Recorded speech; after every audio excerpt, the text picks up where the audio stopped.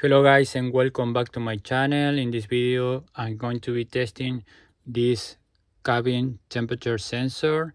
This sensor come out from a Dodge Durango um, but the same uh, sensor has been used in other Chrysler Jeep models.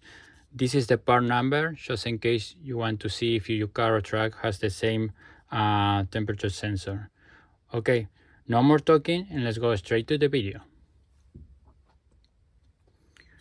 Okay for testing this uh, as you can see the pins right here are pretty close.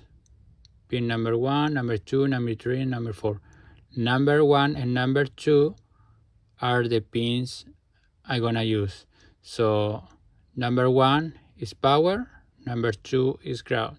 So I try to use this alligator but are too big are small but are too big to fit in there.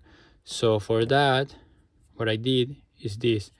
I remove a little bit of the wire inside okay? And then I'm gonna insert right there and the on the first one I'm gonna insert right there.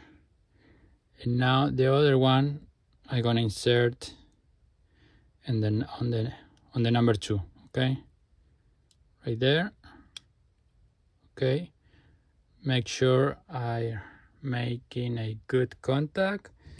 Now the multimeter that I'm going to be using is this one. This one is from Home Depot okay?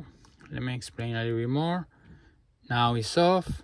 Now we're gonna go to the omega symbol right there okay one two and three. Right there is on the omega symbol. Now we want to press here and it's going to auto mode. So now it's auto okay? Now what i'm gonna do is gonna connect the red one right there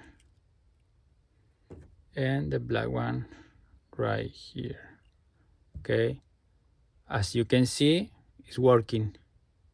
Okay showing some numbers so it's working. Now let's see if it is working properly. If it's the i'm gonna test to see if it's working good.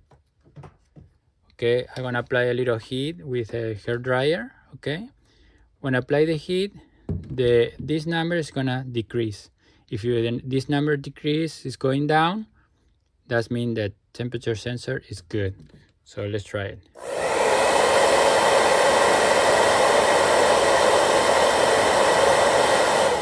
Okay. As you can see I applied a little bit of heat and the numbers start to decrease. Now it's going up.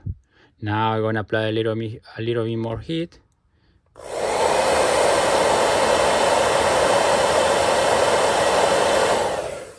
And the number decrease again.